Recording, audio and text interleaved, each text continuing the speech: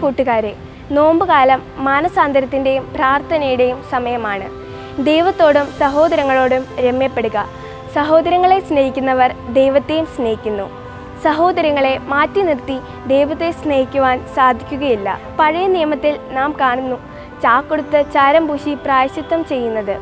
ദൂർത്തപുത്രന്റെ ഉപമയിൽ അവൻ തന്റെ തെറ്റ് തിരുത്തി തിരിച്ചു വന്ന് തന്റെ പിതാവിനോട് മാപ്പ് ചോദിക്കുന്നു. യേശു സമരിയാക്കാരി സ്ത്രീക്ക് അവളുടെ തെറ്റ് മനസ്സിലാക്കി കൊടുത്തപ്പോൾ അവൾ നന്മയിൽ വളരാൻ തീരുമാനമെടുത്തു. ഇങ്ങനെയുള്ള മനസ്സിന്റെ അന്തരമാണ് ഈശോ ആഗ്രഹിക്കുന്നത്. ഇന്നത്തെ സുഹൃതം. വിശപ്പ് അനുഭവിക്കുന്ന ഒത്തിരി ആൾക്കാർ നമ്മുടെ ചുറ്റിലുമുണ്ട്. ഭക്ഷണ പദാർത്ഥങ്ങൾ വേസ്റ്റ് ചെയ്യുകയില്ലെന്ന തീരുമാനം നമുക്കെടുക്കാം. ഇന്നത്തെ തിരുവചനം. വൃക്ഷങ്ങളുടെ വേരിന് കോടാലി വെക്കപ്പെട്ടിരിക്കുന്നു. നല്ല ഫലം കായ്ക്കാത്ത വൃക്ഷങ്ങളെല്ലാം വെട്ടി തീയിലെറിയപ്പെടും.